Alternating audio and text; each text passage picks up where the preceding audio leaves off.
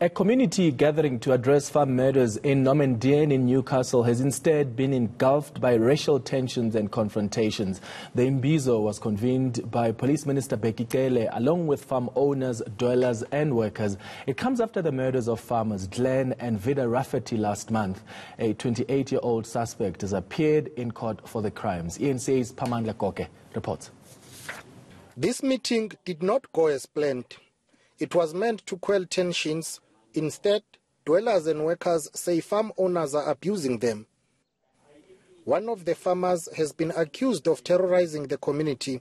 ujaha iy'ngane zethu ngemoto nembuzi imbuzi uma icushe ecingweni uyayibamba ayifake emotweni ikuphi esimele sikwenze ngo-antoni Where is Anthony? Where's Anthony? But the farmer denies this. I never harassed uh, anybody and never chased anybody with. That's all allegations that was made up. Um, um, so I definitely, and I will not do that. I won't chase children with guns.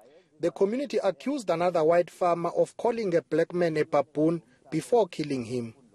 Mr. Geldenhuis had dogs in his property. He shot the dog, and the owner was lying behind him.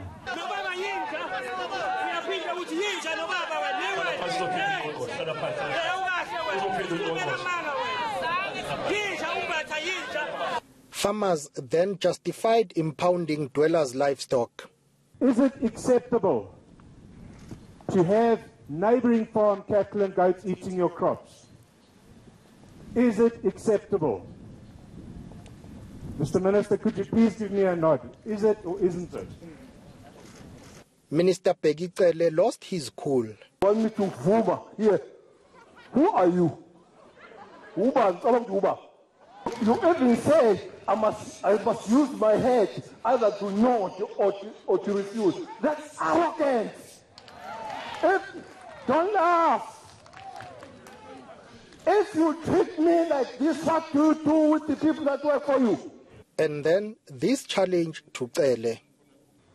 Iy'nkinga zethu iqhamukaphi iqhamuka kubelungu ningasaba wena belungu ndosi Cele has promised to return to the area for more engagement to diffuse the escalating tensions.